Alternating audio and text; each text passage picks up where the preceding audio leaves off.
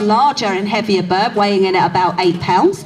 Um, so that tells you that this is a soaring bird.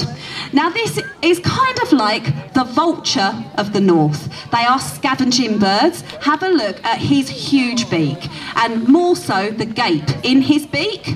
There we go. So you can see that the beak is uh, very, very large and the feet are really small. Now that